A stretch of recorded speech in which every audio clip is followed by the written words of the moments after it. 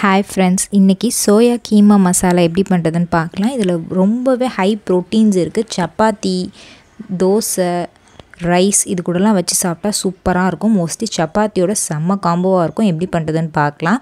ஒரு பாத்திரத்தில் நல்ல ஹாட் வாட்டர் கொதிக்க வச்சுட்டு இந்த மீல் மேக்கர் ஆட் பண்ணிக்கலாம். ஒரு பேனில் ஆயில் ஊற்றிட்டு ஆயில் வந்து ஒன் டேபிள் ஸ்பூன் ஊற்றிக்கோங்க பட்டை கிராம்பு லவங்கம் ஏலக்காய் கல்பாசி சோம்பு. இதெல்லாம் ஆட் பண்ணிவிட்டு நல்லா இது பொரிஞ்சதுக்கப்புறம் நான் மூணு பெரிய வெங்காயம் சின்ன சின்னதாக நறுக்கி வச்சுருக்கேன். அந்த மூணு பெரிய வெங்காயத்தை ஆட் பண்ணிக்கிறேன்.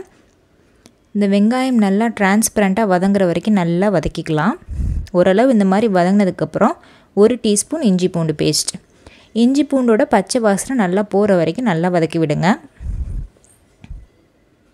இந்த அளவுக்கு நல்லா பச்சை வாசனை போனதுக்கப்புறம் ரெண்டு தக்காளி எடுத்து வச்சுருக்கேன். அந்த ரெண்டு தக்காளி ஆட் பண்ணிக்கலாம். அந்த தக்காளி வதங்கிறதுக்காக இந்த டிஷ்க்கு தேவையான அளவு உப்பு போட்டுக்கலாம். இந்த மாதிரி சுடுதண்ணியில் ஒரு ஹாஃப் அன் ஹவர் கரெக்டாக நீங்கள் செய்ய போகிறதுப்ப நீங்கள் வந்து இது ஊற வச்சா கரெக்டாக இருக்கும். ஒரு அரை மணி நேரம் ஊறி அந்த தண்ணியை ஃபுல்லாக அந்த மாதிரி ஸ்க்வீஸ் பண்ணி எடுத்துங்க புழிஞ்சு எடுத்துக்கிட்டு இதை வந்து மிக்சி ஜாருக்கு ட்ரான்ஸ்ஃபர் பண்ணிக்கலாம். நம்ம இதை அரைக்கும் போது ரொம்ப நைஸாக அரைச்சிடக்கூடாது. இந்த மாதிரி கன்சிஸ்டன்சியில் தான் அரைக்கணும். அதாவது ரொம்ப மாவாகவும் அரைச்சிடக்கூடாது. திப்பி திப்பியாக கோர்ஸாக தான் அரைச்சி எடுத்துக்கணும் இந்த அளவுக்கு. இப்போ இந்த அரைச்ச பேஸ்ட்டை வந்து நம்ம அந்த மிக்சரோடு ஆட் பண்ணிக்கலாம். இதை ஆட் பண்ணதுக்கப்புறம் மஞ்சத்தூள் ஒரு டீஸ்பூன் போட்டுக்கலாம்.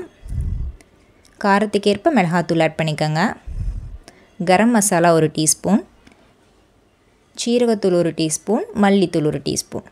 இதெல்லாம் போட்டு நல்லா அந்த ஃபஸ்ட்டு தண்ணி சேர்க்காமல் இந்த மசாலாவோட நல்லா மிக்ஸ் ஆக விடுங்க. ரெட் சில்லி பவுடர் போட்டால் உங்களுக்கு இந்த கலர் கிடைக்கும்.